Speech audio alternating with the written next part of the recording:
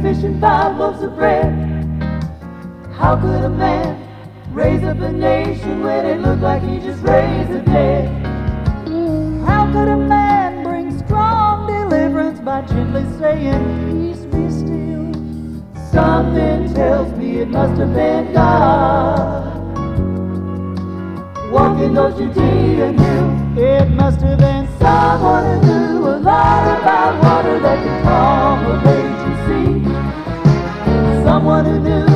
little dietary law to feed 5,000 by Galilee.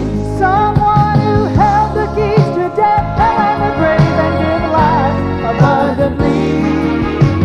Someone who knew a lot about heart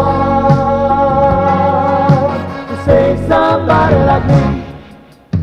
No one but God takes a lifetime shattered and wasted by sin. Picks up the pieces, puts them together, then it starts it all over again. all over again. Only the Lord sees the hope and the promise of every soul that from the start. No one can measure the work but the Lord. Only the Lord sees the heart. It must have been Someone who knew a lot about water that could calm a raging sea. Someone who knew a little dietary law 5,000 by Galilee. someone who held the keys to death, and the grave, and give life abundantly. Someone who knew a lot about heart to save somebody, save somebody, save somebody like me.